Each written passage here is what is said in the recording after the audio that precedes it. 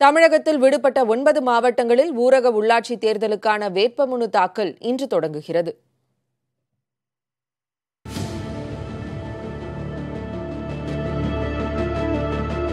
தமிழகத்தில் உள்ள ஊரக உள்ளாட்சி அமைப்புகளுக்கு இரண்டாயிரத்து பத்தொன்பதாம் ஆண்டு டிசம்பர் மாதம் தேர்தல் நடைபெற்றது. புதிய மாவட்டங்கள் உருவாக்கப்பட்ட நிலையில் ஒன்பது மாவட்டங்களில் மட்டும் தேர்தல் நடத்தப்படவில்லை. இந்நிலையில் விடுபட்ட காஞ்சிபுரம் செங்கல்பட்டு விழுப்புரம் கள்ளக்குறிச்சி வேலூர் ராணிப்பேட்டை திருப்பத்தூர் திருநெல்வேலி தென்காசி ஆகிய ஒன்பது மாவட்டங்களில் அக்டோபர் ஆறு மற்றும் ஒன்பது ஆகிய தேதிகளில் இரண்டு கட்டங்களாக தேர்தல் நடைபெறவுள்ளது. இதற்கான வேட்புமனு தாக்கல் இன்று தொடங்குகிறது. காலை பத்து மணி முதல் மாலை ஐந்து மணி வரை வேட்புமனுக்களை தாக்கல் செய்யலாம். வேட்புமனு தாக்கலுக்கு வரும் இருபத்தி இரண்டாம் தேதி கடைசி நாள். மனுக்கள் மீதான பரிசீலனை வரும் இருபத்தி மூன்றாம் தேதி நடைபெறவுள்ளது வேட்பு மனுக்களை திரும்பப் பெற வரும் இருபத்தைந்தாம் தேதி கடைசி நாள்.